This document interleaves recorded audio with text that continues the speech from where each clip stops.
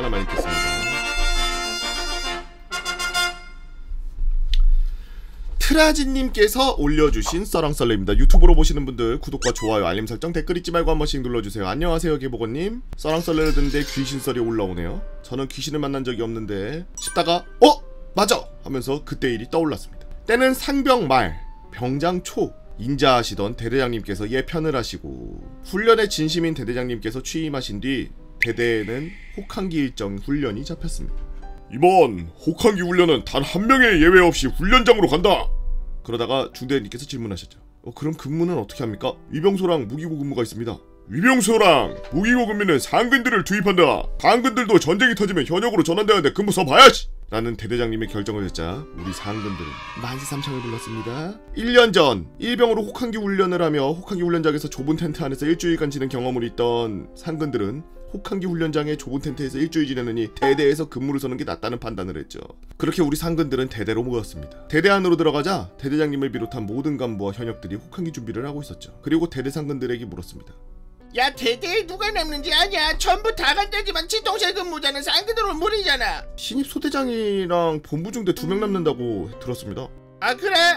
이- 일주일 동안 그럼 한번 잘 지내보자. 아무도 없나? 이번 혹한기 대대 상근들 전부 훈련장으로 가는데 말입니다. 자 그럼 그분은 몇대 상근들로만 되냐 그게? 지통실에 근무표 작성돼 있으니 한번 확인하시지 말입니다. 그리고 저와 동기들은 지통실에 들러서 암구어와 근무표를 확인했죠. 근무표를 본 저희는 어이가 없었습니다. 근무는 2시간 동안 서고 4시간 동안 휴식, 로테이션 한다고 나와 있었습니다. 물론 무기고와 위병소를 각각 돌아야 되니 사실상 4시간 근무에 2시간 휴식. 저는 바로 면대장님께 이 사실을 알렸고 면대장님께서 대대장님과 통화 후 근무 계획을 수정하셨습니다. 6시간 근무, 12시간 휴식. 무기고 위병소 근무 합쳐서 12시간 근무, 6시간 휴식으로요. 그야말로 기적의 조삼모사. 근무표가 결정되자 동기들이 모두 모여 이야기를 했죠. 야 이거 가능한 근무냐 이게? 근무 서고 바로 잠들기를 해야 될 것 같은데 그렇게 결론이 나자 병장들이 항의에 들어갔습니다. 그리고 지통실에서 이런 말이 나왔죠. 행군이 끝나면은 근무 인원 몇 명 추가 보내준다고요.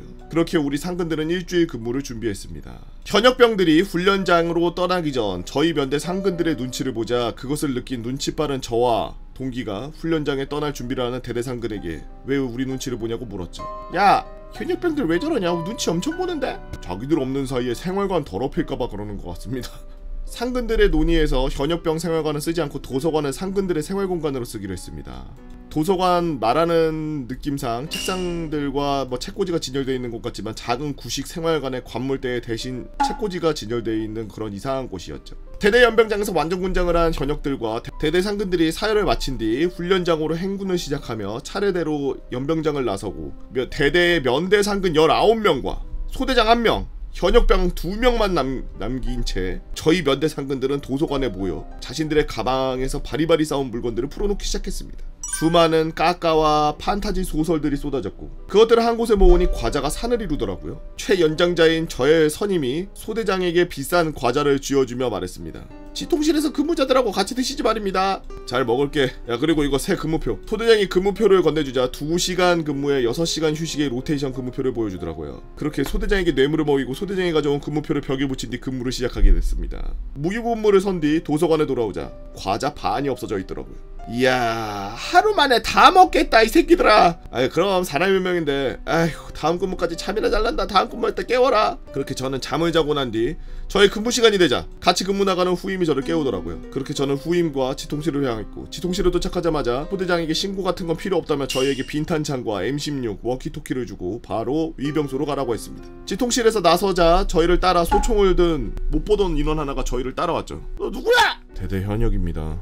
그러자 저는 문득 행군이 끝나면 보낸다는 근무설 인원이 이, 이 사람인가라는 생각에 같이 근무에 들어갔죠. 후임과 위용소에서 보초를 서고 현역병은 소- 초소 안에 들어간 뒤 후임과 대화를 나눴습니다. 아니 근데 현역병을 보냈네? 대대 상근을 보낼 거라고 생각했는데 저도 그렇게 생각했습니다. 상근으로 못 믿어와서 현역 보냈나? 이런 이야기를 하면서 얘기를 하고 있는데 두 돈반이 대대에 하나 들어오더라고요. 대대 차량인 걸 뻔히 알지만 그래도 근무니 매뉴얼대로 했죠. 정지!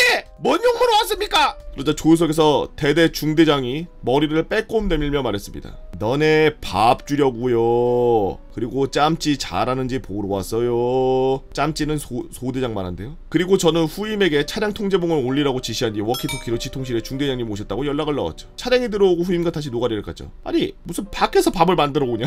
대대장님이 전쟁 중에 밥을 밥 밖에서 먹는다고 취사병 보고 밖에서 다 만들라고 했다고 합니다. 2시간 근무를 마치고 돌아가는 길. 초소 근무와 보초 근무라 근무 중에 전혀 대화를 하지 않았지만 일단 계급을 보니 일병이자 저는 마- 말을 좀 편하게 했습니다. 근무 수고했다. 그러자 현역병도 작은 목소리로 말하더라고요. 수고하셨습니다.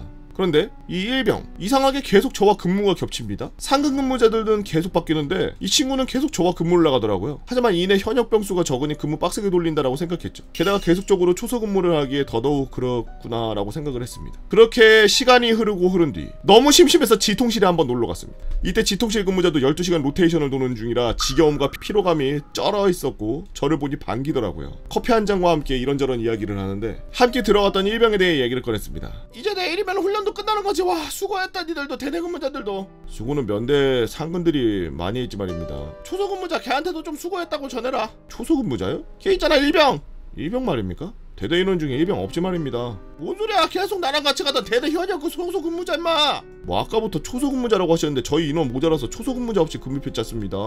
애초에 보초 근무자가 초소 근무까지 겸임하도록 워키토키 줘서 보내지 않았습니까? 초소 입출 기록도 워키토키 듣고 지통실 근무자가 다 작성하고 있는 거 아시지 않습니까? 그때 저는 소름이 돋았습니다. 초소 근무자가 하는 일은 두 가지. 대대에 누군가 입출을 하면 지통실에 워키토키로 무전을 날리고 입출 대장을 작성하는 거였는데 근무 인원 수가 적다 보니 초소 근무를 없애기 위해 워키토키는 보초 근무자들 중에 선임이 가지고 나갔고 입출 대장은 지통실에 워키토키 소리를 듣고 지통실 근무자가 적고 있었던 거죠. 저는 그대로 도서관으로 향했고 노가리 까던 대대 상근들에게 초소 근무자에 대해서 물었습니다. 모두 초소 근무자를 알고 있었습니다. 근데 문제는 모든 상근들이 항상 자신과 근무했다고 말하는 것이 문제였습니다. 저희는 단체로 소대장에게 갔고 소대장은 구라치지 말라고 하더군요. 야 추가 인원? 야 니들이 휴식 시간보다 근무 시간 더 많다고 해서 고심해서 3인 1팀으로 해서 2인 1팀으로 줄여가지고 근무 투입 결정했으면은 당연히 추가 인원이 취소되는 거지 3인 근무에서 2인 근무로 바뀌면 휴식 인원이 늘어났잖아. 대대 인원은 지통실 근무자 병장과 상병 2명 자신밖에 없어. 행군 마치고 근무 때문에 보내진 인원 따위는 없다고 하더라고요. 그리고 다시 위병소 근무에 들어가자 그 일병 초소 근무자는 나타나지 않았습니다. 훈련이 끝난 뒤 그 근무자를 찾아보려 했지만 찾을 수 없었고 또 다른 가능성을 생각하고 이 대대에 혹시 귀신이 있는가를 물었지만 우리 대대에서 만들어진 이후 누가 죽은 일 따윈 없다고 하더라고요. 그럼 대체 그 초소 근무자는 누구였을까요?